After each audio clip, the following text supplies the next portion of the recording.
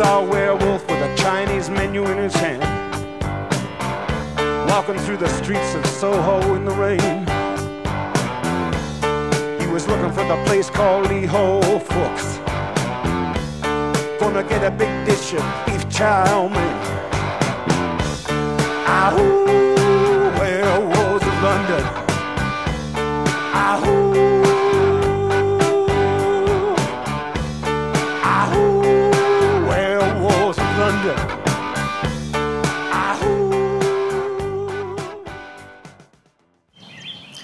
Mary Beth and I were in England for about two and a half weeks vacation in the fall of 1998.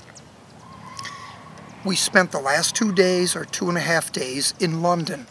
Oxford Street was a very busy street, a lot of energy on the street. It's a very popular area for dining and for shopping. A lot of famous department stores are on Oxford Street.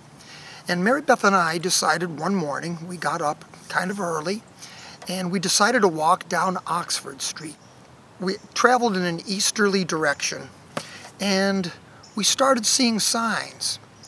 And something started clicking in my head. I saw Mayfair. Then I saw Soho. And then we're walking a little further, a little southerly direction off of Oxford Street, and we come to this area that looked similar to Chinatown in New York City.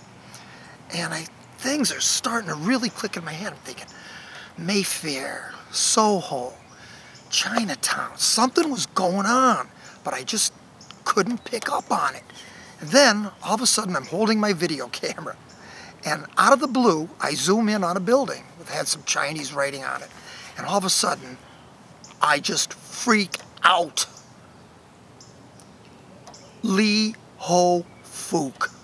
I started yelling to Mary Beth. She was a couple shops down on the same street in front of me, and she thought something was wrong. I just started freaking out. I said, Mary Beth, you gotta come here. You gotta see this. You're not gonna believe what I came across.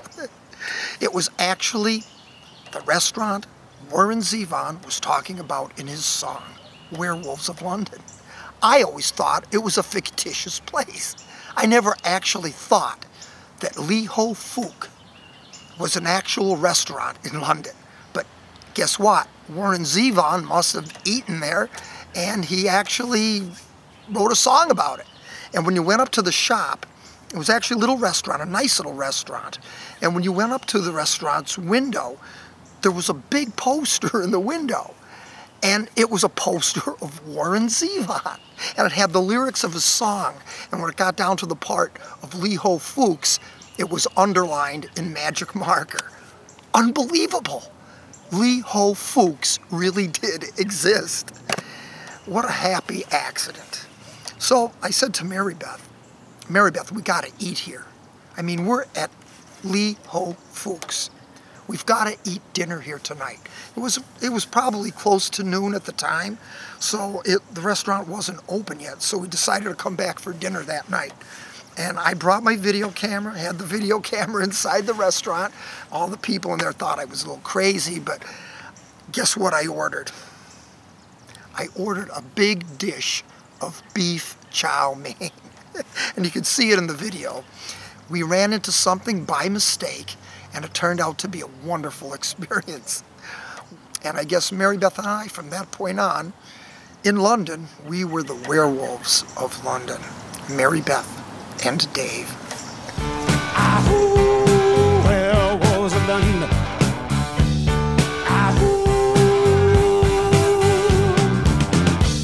Well, I saw Lon Chaney walking with the Queen, doing the werewolves of London. I saw Lon Chaney Jr. walking with the Queen, doing the werewolves of London.